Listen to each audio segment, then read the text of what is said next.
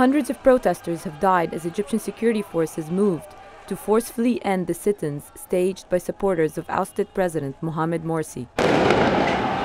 The move drew condemnation from the West as well as from Egypt's neighboring Arab and Islamist governments, who have at times used force to confront opposition in their own countries. gösteri yapan insanlara, nümayiş yapan insanlara silahla müdahale bu asla kabul edilemez. Gerekçesi ne olursa olsun. Bunlar çok tehlikeli kapıları açar. The United States strongly condemns today's violence and bloodshed across Egypt. It's a serious blow to reconciliation and the Egyptian people's hopes for a transition towards democracy and inclusion.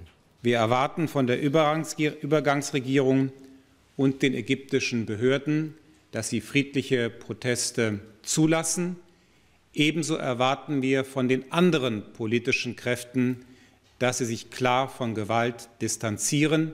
Let me reiterate the EU's position that the violence does not lead to any solutions, and that's why we are urging strongly all parties to exercise maximum restraint.